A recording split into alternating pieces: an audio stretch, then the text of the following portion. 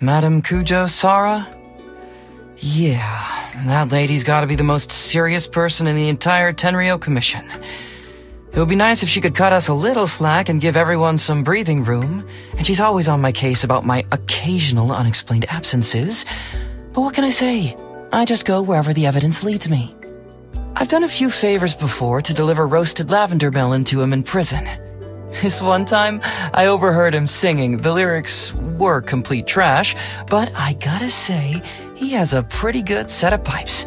And it's not every day you come across an inmate who's in the mood to sing their heart out. The Arataki Gang is a free and diverse organization that accepts anyone, regardless of their background.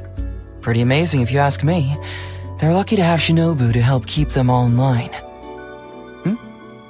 How do I know all of this?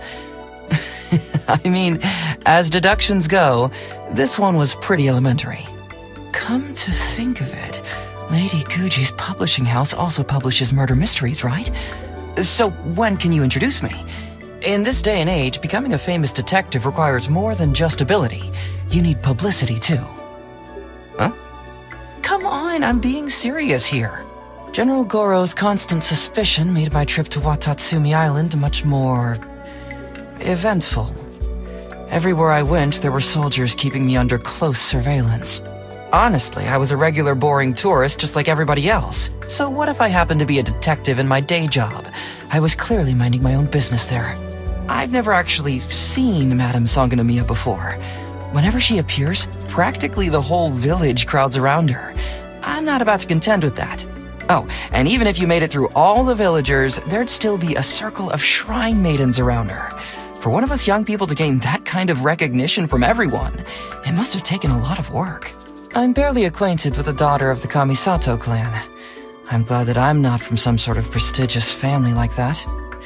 It's definitely not the kind of life for me. Oh, Kazuha? Yeah, he's a solid guy. With his help, I felt like a locked treasure chest of clues had been bust wide open and emptied all over the ground for me to see. If only I had his sensitivity to the natural world. Oh, I get it now.